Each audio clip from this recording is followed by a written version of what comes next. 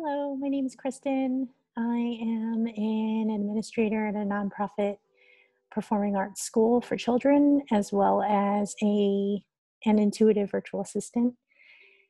And I've taken many courses with Vanessa. I've known her for many years, and um, most recently, I've taken Reiki levels one and two, and they've been so beneficial.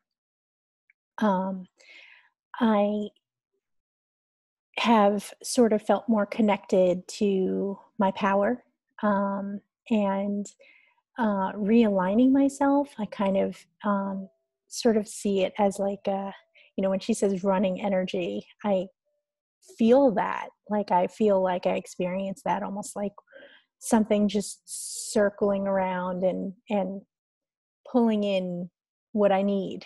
So um, I'll use it before major calls um, or conferences, meetings. Um, I use it before I go for a run sometimes if I feel like I'm low on energy.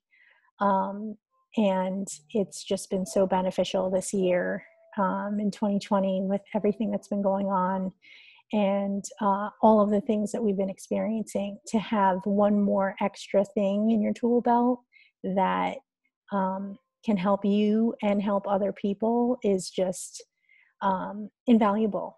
So um, I highly recommend it. And um, Vanessa is an amazing teacher and so open and so willing to stay connected and want to help and to continue to help communities everywhere.